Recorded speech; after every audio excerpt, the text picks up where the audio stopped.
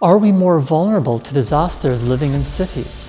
Or are they worse on islands, coasts, in mountainous areas? Let's find out in this episode of The Science of Disasters. Don't forget to subscribe to keep up with the series as a whole.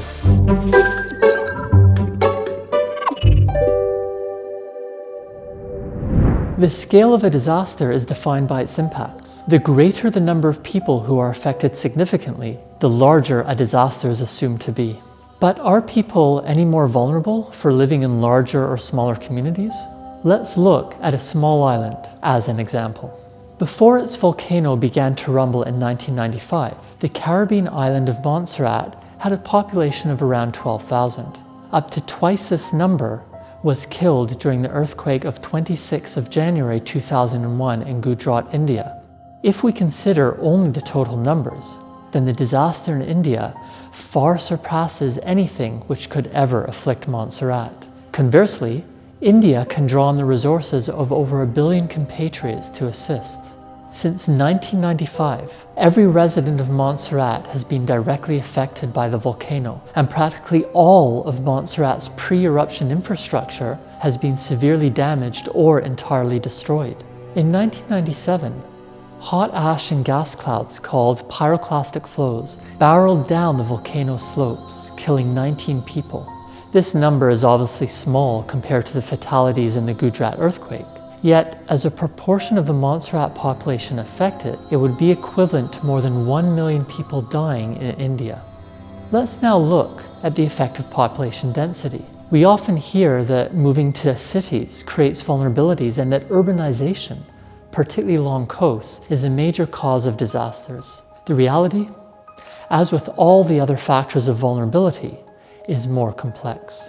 Urbanization implies increasing populations are concentrated in a comparatively small area. So more people are affected by hazard in that area. Epidemics can rage through dense populations, potentially worsening the impact from the hazard, in this case microbial pathogens.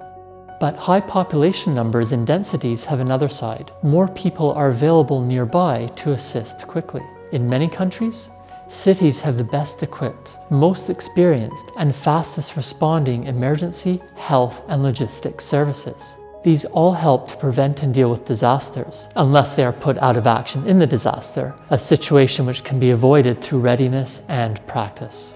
Similarly, if natural hazards occur regularly in a place, then we will be more used to them and hopefully more inclined to prepare for them and know how to deal with them, irrespective of population numbers, population densities, urbanization, or the hazard's characteristics.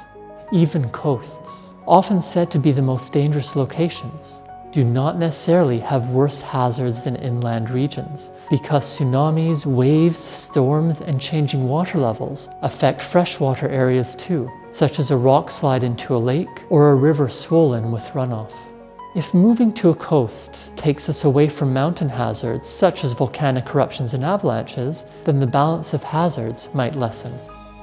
A city's design also affects both hazards and vulnerabilities. The layout can inhibit or support evacuation, given that areas with more people could be harder to empty if large population numbers need to negotiate tight escape routes. All areas, urban, rural, and those in between, have vulnerabilities and abilities to tackle those vulnerabilities.